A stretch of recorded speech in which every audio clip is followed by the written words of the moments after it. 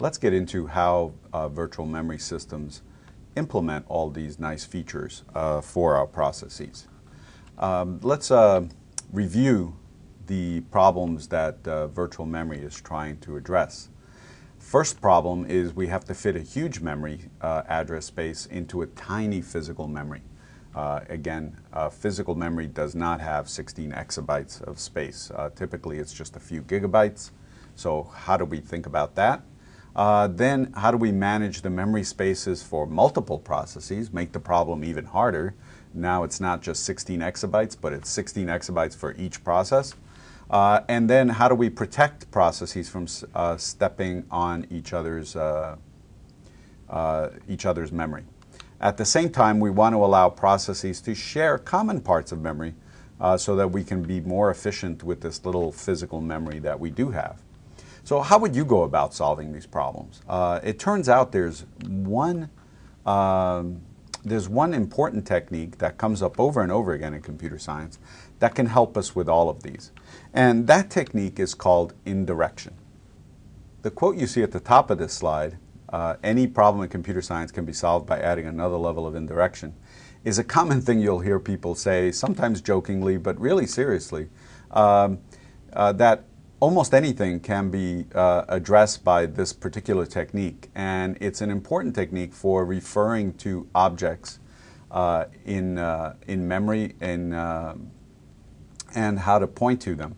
Uh, let's take a look at what we mean by uh, pointing to an object. So if I have a name for something, like let's say I've, I've stored a pointer in a variable, a pointer type, I can have it point to something in memory.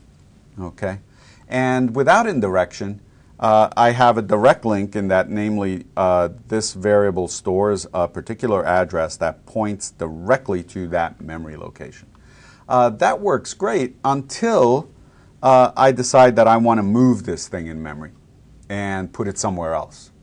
And if I want to do that, I have a problem in that I have to go find every single variable that might have pointed to that object and change the address uh, stored at that variable. Well, that can be uh, very burdensome and hard to keep track of.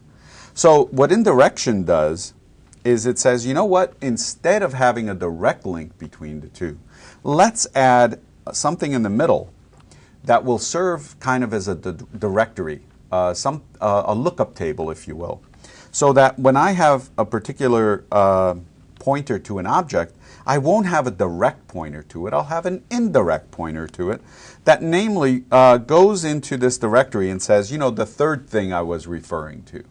So that now uh, I will look it up in that directory in the third slot, for example, and find the address of the thing. Now that involves an extra step. I have to first go to this place in memory, find the directory, look up the third element of the directory, and then I'll get the address in memory that I, I'm, i really want.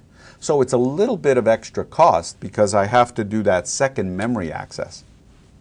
However, if I change the position of the thing or I just want to point to something else uh, using that same original variable name, well then that's really easy to do because all I have to do is change the directory uh, to, point, uh, to point here uh, now and not have to worry about what variables uh, might I have to go back and change. Anything that refer to the third slot in that memory, is our, as in our example, can now just point to that because I'll find a new address in that third slot in my lookup table, in my directory. All right, so this is how indirection works.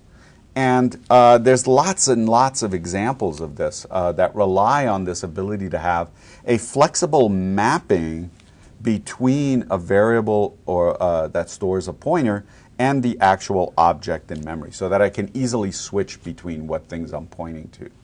Um, and examples of these include things like the domain name service that helps you find the actual machines that host your websites on the web, uh, the phone system, uh, things that allow cell phone portability or find your cell phone depending on which cell tower you happen to be near, uh, mail forwarding uh, at the post office uh, is an example of indirection. Um, lots and lots of things uh, that we use in our daily lives uh, rely on this uh, ability to go and look up things in a directory and then as a second step find the actual thing of interest rather than having a direct name for it in the first place. And this is going to be fundamental to how we build virtual memory. Uh, namely, we're going to add a level of indirection uh, to our address uh, mapping to physical memory. So our processes uh, here are going to be generating uh, virtual memory addresses, and we're going to put a big directory in the middle to take that virtual memory address and turn it into a physical memory address to find the spot in physical memory where we've actually put that thing. This is how we're going to give each process the illusion of having their own physical memory, uh, even though they're, they are not aware of each other and they're generating potentially the same address uh, internally to a process. Uh, but it's going to potentially be mapped to a different place in physical memory. And this is going to be useful to solve all of those problems uh, that we had. So let's uh, go a little bit more into detail on this. So uh, let's remind ourselves about the address spaces that we have. Our virtual address space, what our processes generate as addresses, is uh, 2 to the n, where n is the number of bits in our address. In our case of our 64-bit machines, that's 2 to the 64. Our, our, physical address space is 2 to the m, typically where m is much, much smaller than n. So we might have a physical address space that is only uh, really 34 bits or 38 bits, but not 64. Uh, 64 would be uh, just a huge address space uh, to implement in physical memory. All right? Now, our mapping, since uh, we have all of these virtual addresses uh, in our process, is we can only fit some of them in the actual physical memory, which again is much smaller. The rest will have to be stored on disk. In other words, rather than having those values uh, be in physical memory, we're going to put them on a slower but much larger storage device, namely a hard drive, or these days a uh, an, S, an, an, SD card or a, uh, a solid state drive. But it's not going to be in our fast physical, faster physical memory. It's going to be on a slower device uh, out on a disk. All right, so what we'll want to do is as we uh, execute our program, we may need memory that is stored on disk. At that point, we'll want to get it and bring it into physical memory so we can access it there. And we'll see the details of that in a little bit.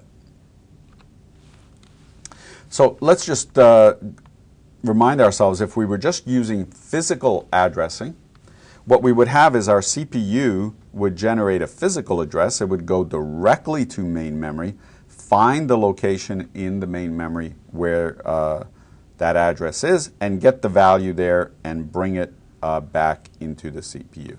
Right? In this case, reading four bytes out of the memory. This is the standard approach for very simple computer systems like embedded microcontrollers, uh, things you might find in an elevator or a microwave oven, uh, things like that, um, where it is well known in advance how much memory we'll actually need. It's a single uh, or a few function device. Uh, it's not going to get new apps loaded into it. Uh, so we don't have to worry about uh, allocating that memory in, uh, in very uh, flexible ways because we won't have a lot of different processes running. In fact, for the most part in these uh, small embedded systems, we'll have a single process and it can have full use of that physical memory directly using a physical address. However, in larger systems, uh, things like our desktops, our laptops, even our cell phones uh, these days, um, and certainly servers, we will have a CPU not generate a direct physical address, but a virtual address.